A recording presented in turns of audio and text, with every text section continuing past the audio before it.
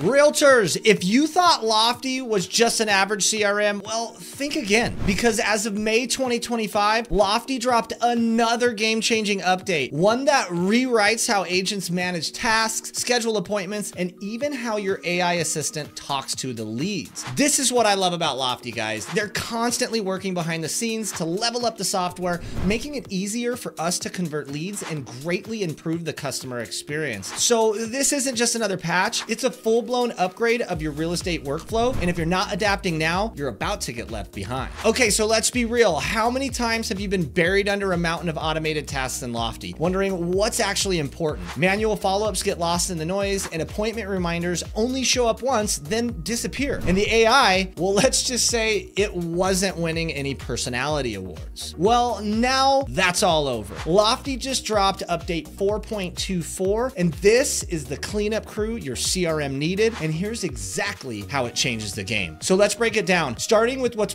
probably the most practical win, task and appointment updates. So number one, manual tasks now get priority. So you can filter out all the automated clutter that just kept those task lists looking like they never ended. And today will only show manual tasks that are actually due today. And on this week and this month filters, they now isolate only the manual tasks unless something something automated is due, then it'll show up. And on overdue and finished tabs, it's the same deal with just the manual tasks first. So to do this, you just wanna click the gear icon in the task list to hide all the automated tasks and boom, you got clarity. Number two, reminder bombs for appointments. This one is big. You can now send multiple reminders for appointments. So you can text yourself five minutes before the appointment to remind you and you can email your client the day before or both. It's customizable, it's clean, and yeah, no more ghosted appointments because your lead didn't get the text. Number three is location autofill for appointments. When you're setting a meeting with a lead, Lofty can now grab their address and autofill it as the location for the appointment. So no more copying, pasting, or fat finger typos. You type less, move faster, and look pro. But hold up, because this next part, this is where Lofty went full open AI mode. The AI sales assistant got a brain upgrade. So so guys, this isn't just better scripting. Lofty's AI can now answer human questions like a human. For example, if they ask what an FHA loan is or how do I raise my credit score, Lofty's AI bot will now respond in kind. And even better, it knows how to empathize.